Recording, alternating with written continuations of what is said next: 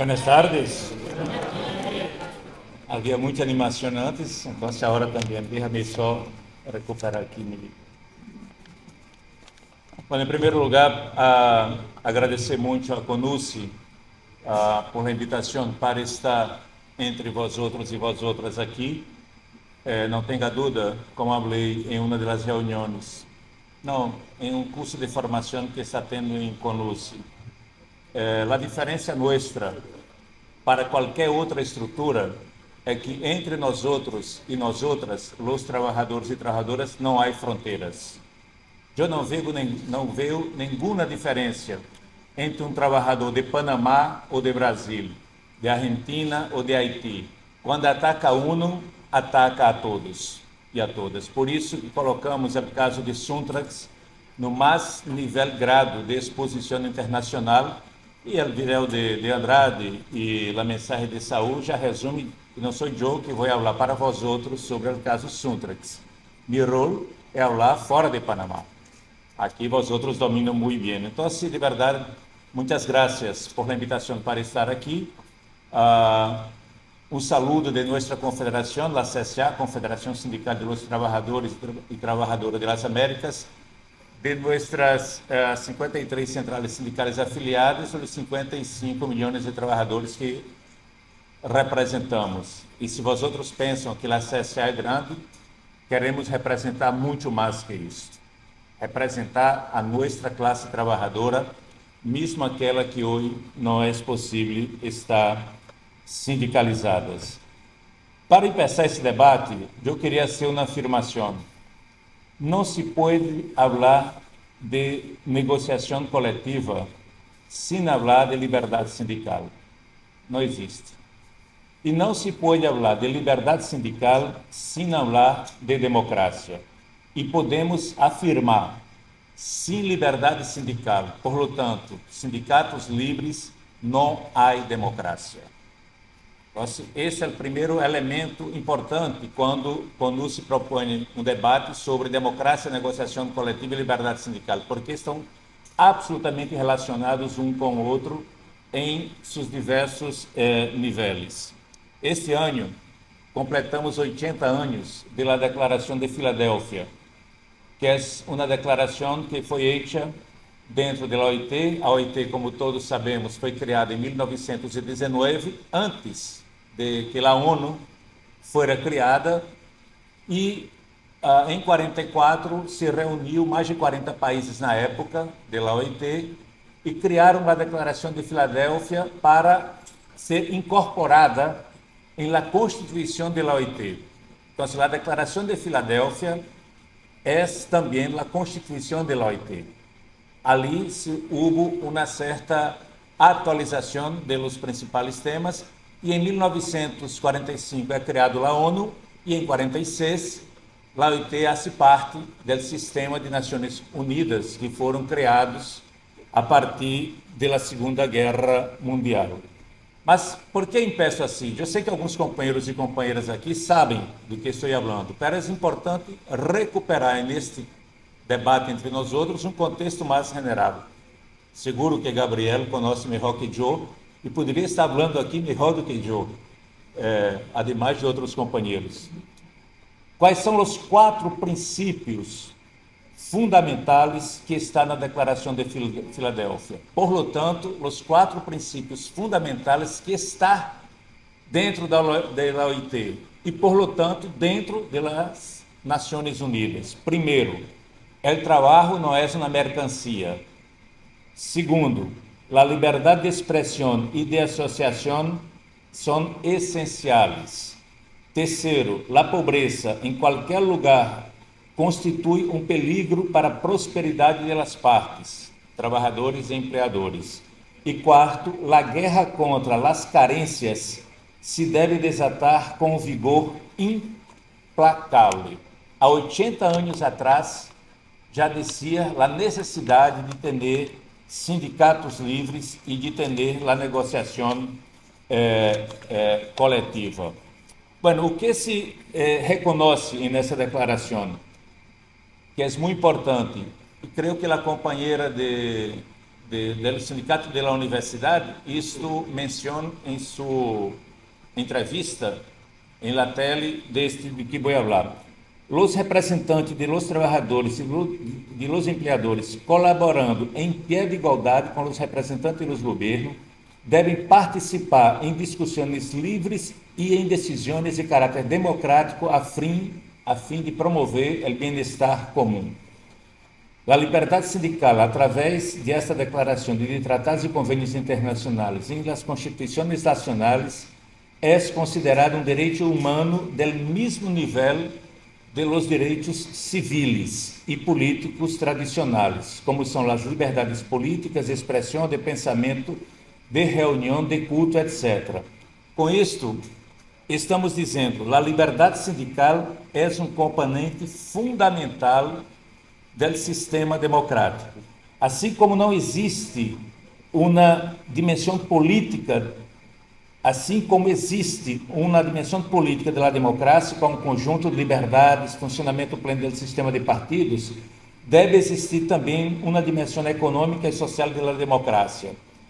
Para, por lo tanto, o cidadão, ou seja, as pessoas, têm direitos políticos, ou seja, temos direitos a, a, liberdade, direitos e liberdades que o habilitam a participar através de partidos políticos de sua preferência em assuntos políticos. E tem também direitos econômicos e sociais que habilitam a criar e participar de organizações sindicais. Qualquer afetação da liberdade sindical é uma afetação à democracia. Quer dizer, que é tanto que é tão antidemocrático um país que limita as liberdades políticas como um país que, li, que limita as liberdades eh, sindicais. Ah, isso é muito importante porque é uma batalha que devemos dar em nossos países. Não pensar que a liberdade sindical ou a negociação coletiva é uma coisa à parte da democracia, parte de nossa sociedade. Há que dizer, o país que não tem a liberdade sindical e negociação coletiva não é um país democrático. A democracia não se mide solamente por ter eleições, se mide por las garantias civis, políticas e laborais. Então, é muito importante porque essa batalha temos em quase todos os países da América Latina. Pero quero volver a um tema que é um tema da democracia. América Latina e o Caribe temos uma herência muito forte de ditaduras militares, temos uma herência de governos neoliberais. Nesses governos neoliberais autoritários que tu vimos, quais eram as características primeiras? Atacar os direitos, atacar a proteção social, ao mesmo tempo que ataca a proteção social, protege o capital, protege as inversões, através dos tratados de inversões, através dos tratados de livre comércio, dos acordos comerciais. Então, assim, nossos governos, o que hicieron? Sacaram direitos do pueblo e esses direitos do pueblo deram ao capital. Deram ao capital nacional e ao capital eh, transnacional. Por que aconteceu isso? Porque em muitos dos países da América Latina, ou em quase todos, houve uma aliança das oligarquias nacionais com o capital transnacional. Ou seja, poderia ser contraditório que uma família que manda, ou duas ou três famílias que mandam um país, é, estiverem em aliança com gente de afuera. Mas o que essas famílias fizeram? Para não perder, fizeram uma aliança com as empresas e depois uma aliança com o capital financeiro, uma aliança com os bancos.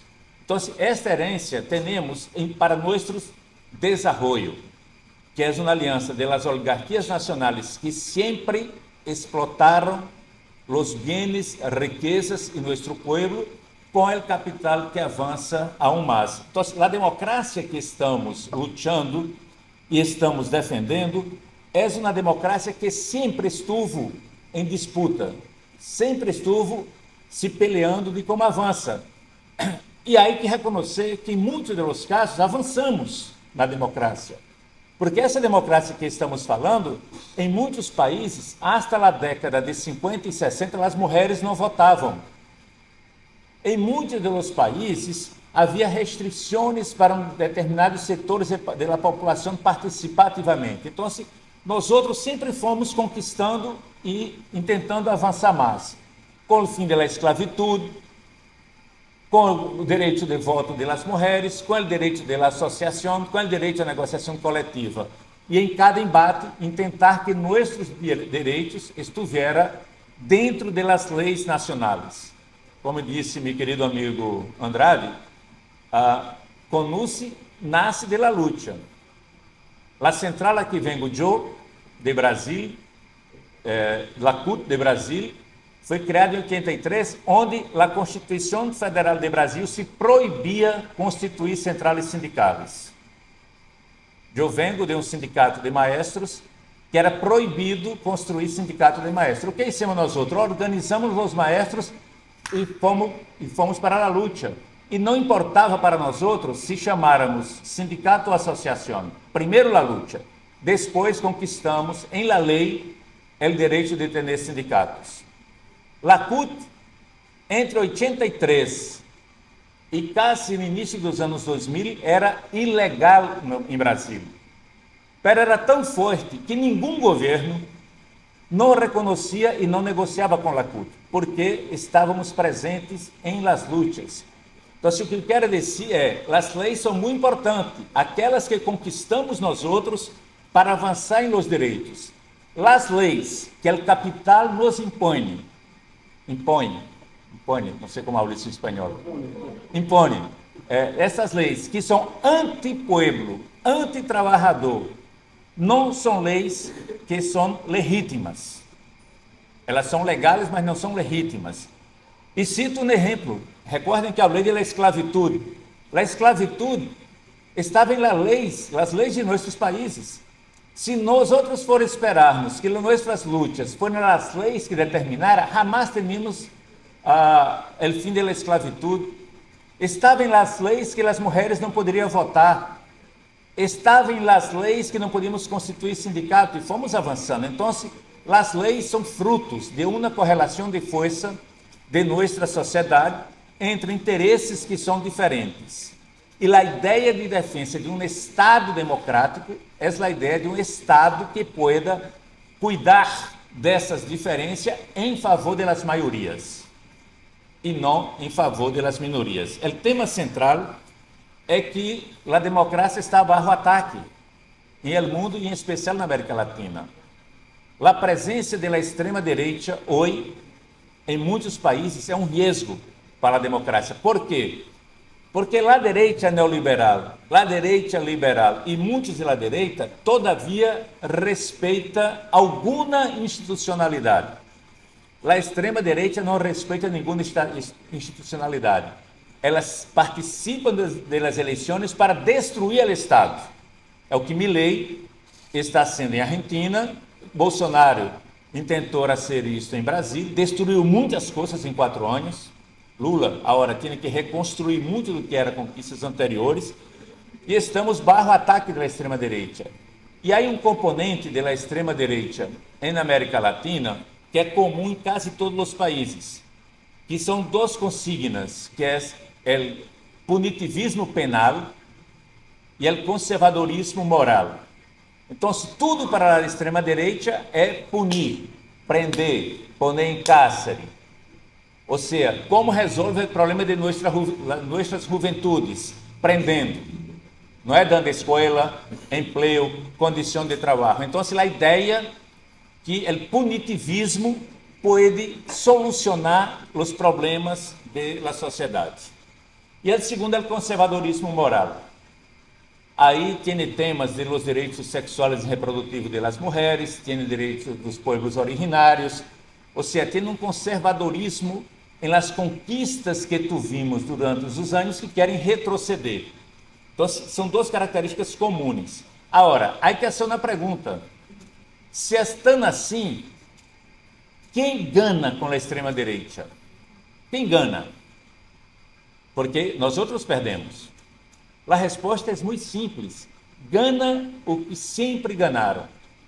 Os muitos ricos, os super, super ricos é uma maneira de dizer, os muito ricos e as empresas transnacionais ou as grandes empresas e o capital financeiro. Na hora, em la hora que essas empresas, os muito ricos e o capital financeiro empecem a perder em um determinado modelo político, não tenha dúvida que vão substituir por outro.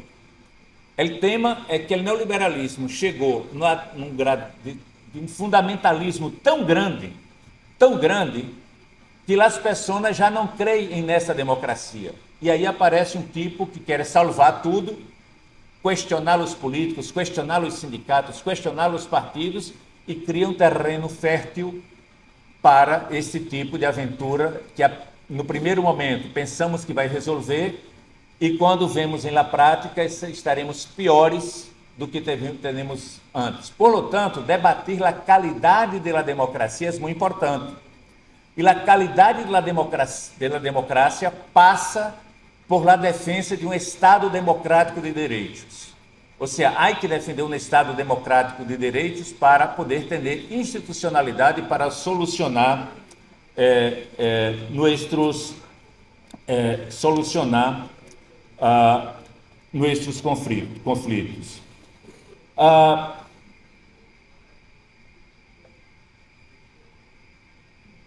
bueno, qual é o tema também? para, para ir terminando essa parte mais geral eh, da democracia.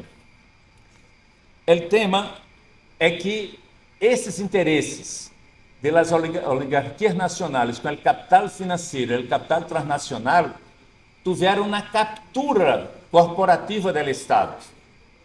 Quando logramos eleger um presidente de esquerda, um presidente progressista, temos a captura los outros, as outras partes do Estado. Em geral, o parlamento é um parlamento corrupto e antidemocrático e às vezes o judiciário, o sistema judiciário, porque esses outros poderes também estão capturados por, por capital corporativo. Como se, como se passou os golpes recém em nossos países? Ou era um golpe parlamentar jurídico ou jurídico parlamentar?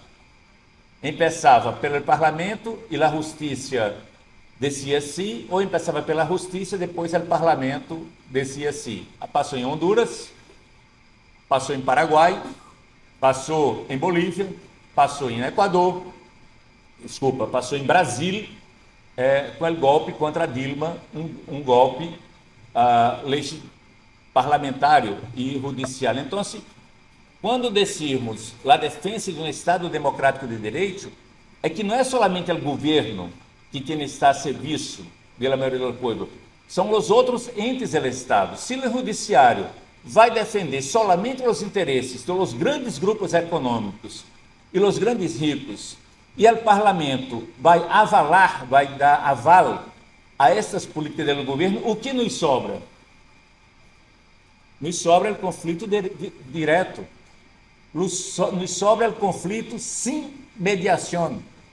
E aí é nossa força que vai dizer se logramos ou não logramos. Então, é muito importante ter claro que não há negociação coletiva sem liberdade sindical e não há liberdade sindical sem democracia.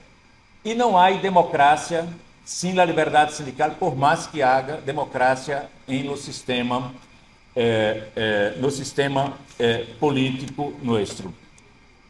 Por isso que nós, nosso sindicalismo em la CSA e também la CSI tem a democracia como uma bandeira estratégica.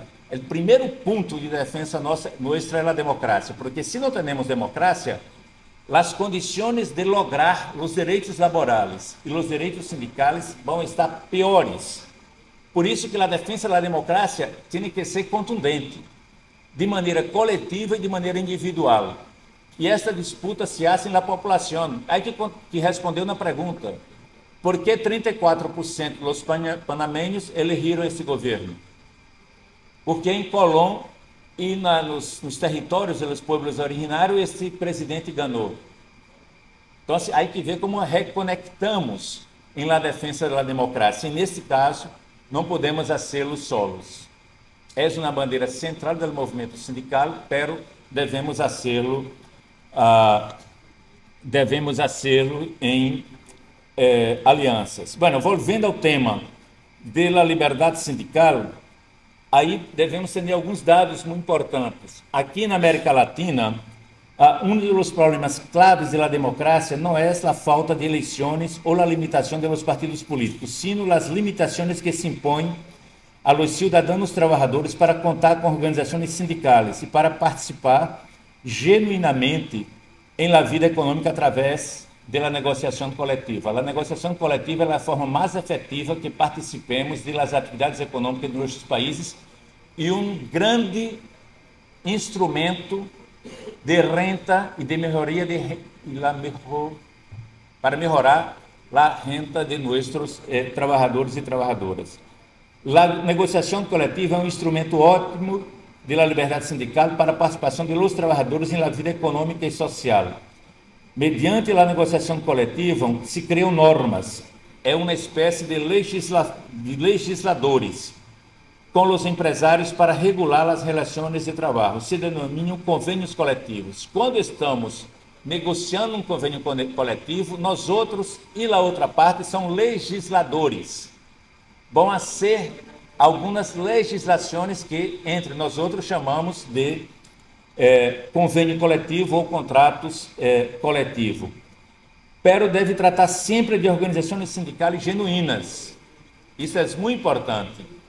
É, genuínas e de verdadeiros pactos e convênios coletivos, porque em alguns países, como Costa Rica, é, o Estado facilita a existência de arreglos coletivos de organizações solidaristas de trabalhadores não sindicalizados alentadas por os empresários, que têm é claro objetivo de evitar o desenvolvimento das organizações sindicais autônomas e genuínas.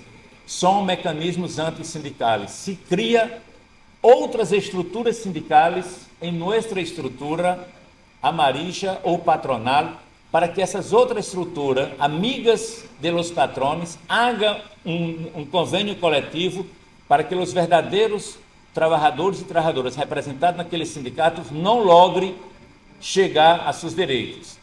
Então, se não estranho, quando temos um sindicato forte aqui na universidade e apareça outro intentando essa negociação coletiva. Há que mirar a natureza desses sindicatos. Podemos ter dois sindicatos de trabalhadores. Agora, nunca confundir com sindicatos que vestem a camisa de los trabalhadores pero quando abre a camisa é patrão ou é governo. Então, assim, esse, esse elemento é muito importante quando debatimos isso. A legislação de muitos países latino-americanos, como Equador, Guatemala, Costa Rica e outros, regulamentam excessivamente em suas leis e códigos da atividade sindical de tal modo que, em lugar de fomentar a organização dos trabalhadores e a negociação coletiva, estão dirigidas por el contrário, a limitar e disciplinar o surgimento de atividades sindicais. Incumplem, assim, direitos fundamentais da OIT, como são o Convênio 87, o Convênio 98, a, de proteção da atividade sindical e negociação coletiva. É, neste caso, o Convênio 87, e lá tivemos uma opinião consultiva da Corte Interamericana eh, de Direitos Humanos eh, reconhece o direito à liberdade sindical e à negociação coletiva, e nesse caso, a Corte, incluindo o tema ah, de las perspectiva de gênero, que é muito bem-vinda nesta opinião eh, da Corte. Então, se a liberdade sindical compreende, entre outros direitos, o direito de los trabalhadores a constituir sindicato, afiliar-se a ele, a la proteção frente às ações antissindicais de seus empregadores e do Estado. Ao mesmo tempo, é a condição necessária para possibilitar o desenvolvimento da negociação coletiva e o exercício do direito de la huelga com o objetivo de impulsionar, impulsar a melhora das condições de trabalho e defesa dos interesses da classe trabalhadora. Em concreto, o Convênio 87 estabelece o reconhecimento do direito da sindicalização dos trabalhadores do setor público e privado. Então, lá mais uma vez, o vídeo da universidade. Não me venga o reitor dizer, não, porque não existe uma lei. Sim, existe. Porque quando o Panamá firma o convênio, aceita aquele convênio como lei nacional. Então, assim, é muito importante é, é, isto claro e um aspecto muito importante é, é, para nós outros, de la CSA, no tema da liberdade sindical em democracia, é a, é a autonomia.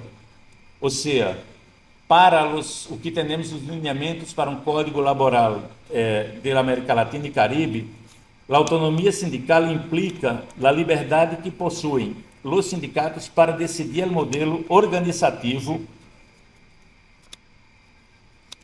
Desculpa que essa coisa estava em meu voz. Estatutário, sua estrutura de governo e toma decisões, o programa de ação e os marcos de aliança em definitiva, e nesse ponto encontramos a máxima expressão no exercício de atuação sindical coletiva, que é a defesa dos interesses da classe trabalhadora. Ou seja, quem tem que decidir como funciona o sindicato somos nós outros os trabalhadores. Não é o patrão, não é o governo, pero há uma quantidade de leis tão grande na América Latina e em algumas outras partes do mundo, mas em especial na América Latina, que nos impõe ou nos diz como devemos organizar um sindicato. Não se pode organizar um sindicato com menos de 50 trabalhadores. Um sindicato que tem um limite X de dirigentes. O sindicato, não. Quem diz como se organiza um sindicato somos nós outros. Quem diz quem são as autoridades do nosso sindicato somos nós outros. O tema central é que nós outros defendemos um sindicato democrático, não defendemos um sindicato escondido, um sindicato clandestino aos trabalhadores. Por isso combatimos os contratos de proteção em México. Os pactos coletivos para nós outros têm que ser transparentes, têm que ser públicos. Nosso sindicato deve rendir contas do que nossos afiliados aportam. Ou seja, interessa à la esquerda, interessa aos setores progressistas e interessa aos setores democráticos a transparência. Não interessa a transparência para quem quer ser algo mal, algo que não está correto. Aí tem que esconder. Nós outros não temos medo de esconder.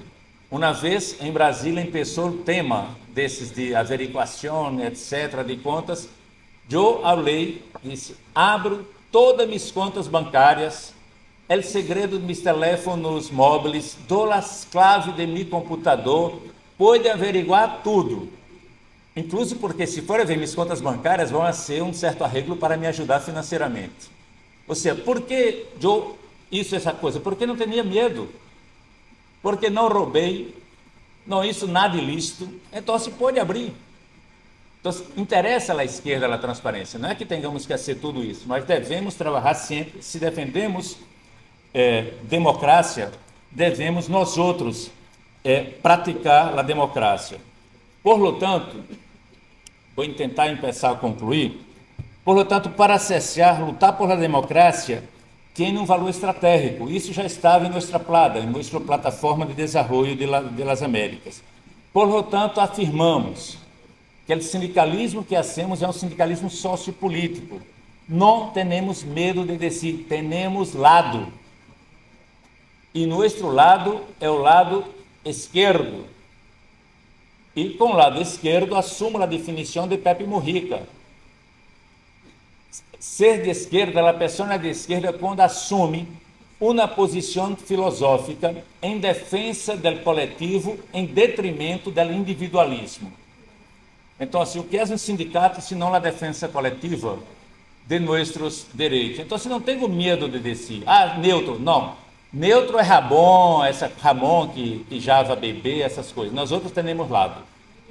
E não dá igual para nós outros um governo progressista de esquerda de um governo de direita. Não dá igual. Porque sabemos das condições de luta nossa entre um e outro. E devemos lutar ah, em esta defesa desse sindicalismo eh, eh, sociopolítico,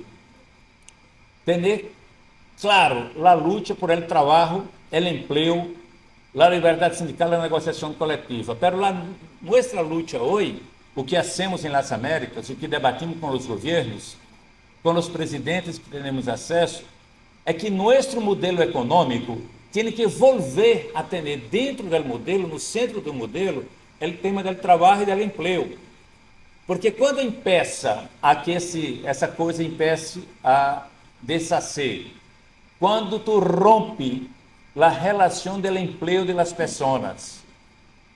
Antigamente as pessoas tinham trabalho, esse trabalho ia permitir que ele pudesse pagar sua, sua casa, sua família, em geral, seus filhos iam estudar, iam a ser universidade e seus filhos iam ter condições melhores do que seus papás. Estamos tendo uma geração em Europa, está muito presente isso, que os filhos têm menos perspectiva que seus papás. Então, é, é, é, quando decimos que devemos defender o trabalho e o emprego no centro do modelo é porque não podemos aceitar a ideia que este fundamentalismo neoliberal cada vez mais destrua a relação laboral e a relação do emprego e destrói a tal falava o Imponucci, que hasta nossa identidade querem sacar de nós outros. A identidade de trabalhador ou trabalhadora.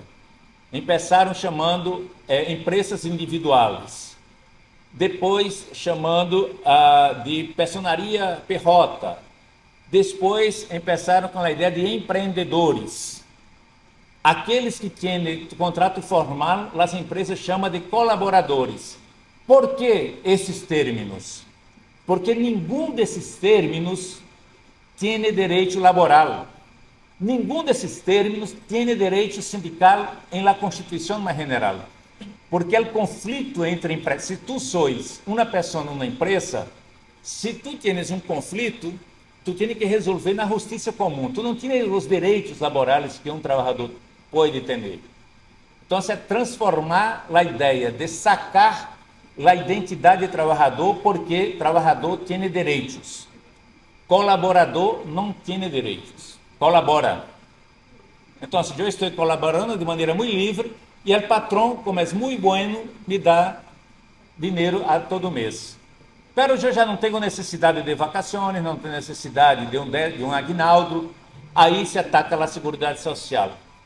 Outro tema, outros vão estar debatendo a carra de seguro social.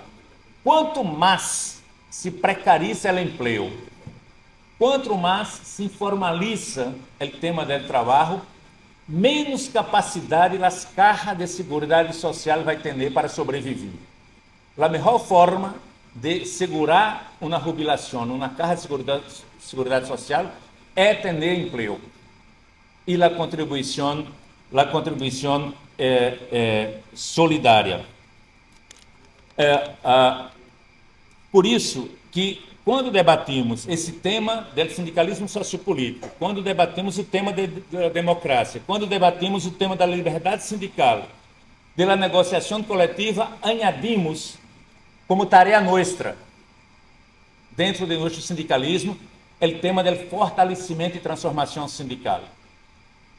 Porque nós outros devemos tentar mirar a classe trabalhadora e organizar a classe trabalhadora esta classe trabalhadora que não tem contrato, não tem direito, que são empreendedores, devemos ver a forma de organizá-lo.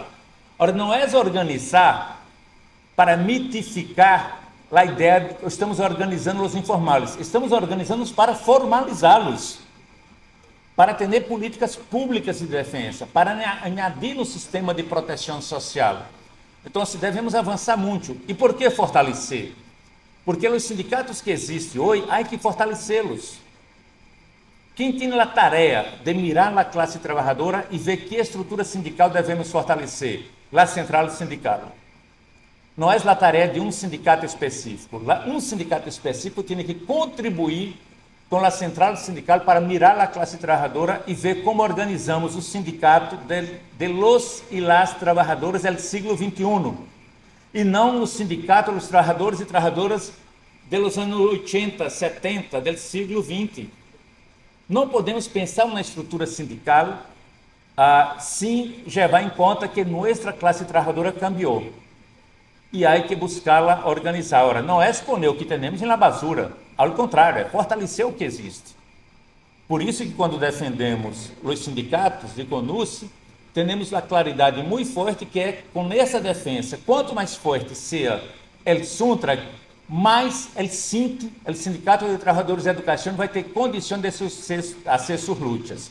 Quanto mais avancemos na iniciativa privada, mais podemos lograr no serviço público. E em alguns países, quanto mais avançamos no serviço público, mais vamos ter com a iniciativa privada. Porque em alguns países, aqui da América Central, só existe sindicalismo no serviço público. No serviço privado não existe, porque foi tanto o ataque que a sindicalização é menos de 2%. E os sindicatos fortes são o sindicato de maestros, sindicato de saúde, sindicato de uma parte eh, do Estado. O que falamos para esses companheiros? Se quer defender o sindicato público, defenda o sindicalismo privado. O que falamos é do sindicalismo privado. Quer defender seu sindicato, seu sindicalismo, defenda o sindicalismo público, porque somos uma única classe trabalhando com patrões diferentes.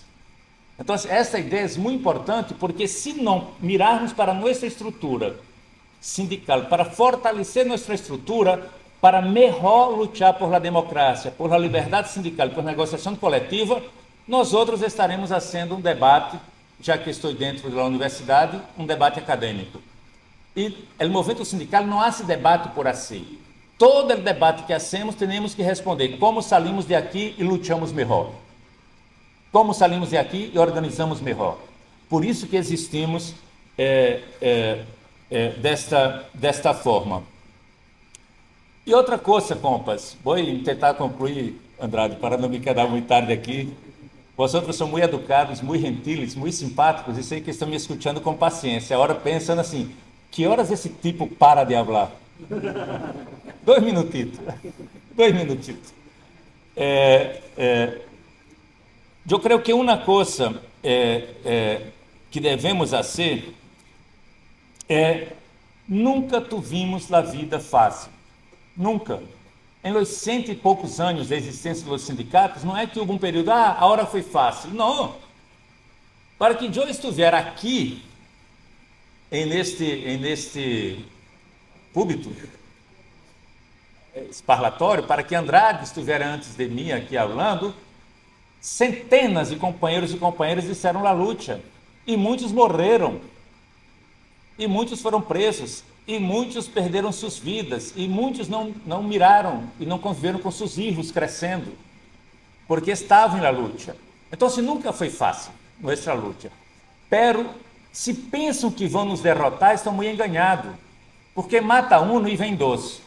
É como se mata uma mosca. Mata uma mosca, vem cinco depois. Então, se nós outros somos isso. E se temos esta clareza de que tipo de sindicalismo vamos ter, nós outros vamos estar em pé, não vamos estar de rodilha. Nadie vai poner nós outros de rodilha. Não estamos à venda.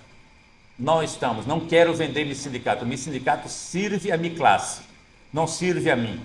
Então não me venha com proposta que resolvo tus problemas e as contas bancárias, pero quero paz social e tu que prometer que não vai ser mobilização. Não. Não vou, vou lograr minhas contas de, de, de outra forma. Por isso que é, essa defesa desse tipo de sindicalismo é muito importante. E como a democracia é um valor estratégico para nós outros, devemos avançar nas alianças sociais, porque solos não logramos. Que outros setores da sociedade podemos fazer um acordo para atuar juntos, em pontos mínimos, aquilo que nos dá. Todo mundo necessita de emprego, todo mundo necessita de trabalho, necessitando defender a natureza. É urgente defender os direitos das mulheres, igualito ou melhor do que para nós outros. Então, são temas que podemos juntar um, um conjunto de forças políticas e atuar juntos em el país. Já hacemos isso a nível continental. Estivemos em Foz do Iguaçu, naquela grande aliança que recuperamos, mas dentro dos países há que criar alianças em la defesa da democracia e combate à extrema-direita. Pelo menos isso nos, nos, eh, nos unifica. E terminar com uma coisa que é muito fácil de dizer e muito difícil de praticar, que é o valor estratégico da unidade. Temos que unir a classe trabalhadora, porque o capital o que hace é nos dividir. os governos nos hacen nos dividir. E muitos dos que estão dentro de nós outros também nos hacen dividir. Então, há que buscar a ideia de la unidade. E que la unidade não termine em uma mesa com a primeira cara feia. Quando primeiro, aí acabou a unidade. Ou seja, a tolerância e a paciência é algo difícil, difícil de exercitar. Muitas vezes em, aqui nas Américas, me gana é, é assim, que se vai para um lugar lejos. Eu nunca contesto, nunca contesto um problema em La nunca. Ou com aliados, ou com governos, ou com empresários, ou entre nós outros, nunca contesto de imediato ou com raiva. Eu me dou dois, três dias para pensar. Quando a raiva acalma, o hígado se restabelece, porque a ideia do hígado é dar-lhe dar palo. Quando se restabelece, tu pensas e vê o que é mais importante. Tu vimos agora um problema em Guatemala, que se eu for contestar no primeiro momento, eu descia, não conte com a CSA. Me dei cinco dias. Quando em cinco dias logramos como restabelecemos nossa ação unitária em Guatemala. Então, o que quero dizer? Que a tolerância e a paciência é muito importante para construir a unidade. Quanto mais unidos, quanto mais juntos, mais força temos. Eu hoje estive com três sindicatos do canal, em uma única central. Eu não queria falar assim, mas em nossa concepção é obrigação que esses sindicatos constituam uma mesa comum para debater temas. Não é que um vai substituir o outro, mas há que buscar a forma de como podemos golpear e atingir de maneira mais forte. Isso se passa também em outros setores. Então, assim, meus queridas companheiros, meus queridos companheiros, eu tenho lá conosco como uma grande referência da CSA, Andrade sabe disto. É um honor para mim estar aqui entre vós outros e vós outras e poder falar aqui não na posição individual minha, mas poder falar aqui na posição que construímos de maneira coletiva na Confederação Sindical das Américas e poder debater com vós outros e vós outras. Bueno, forte abraço.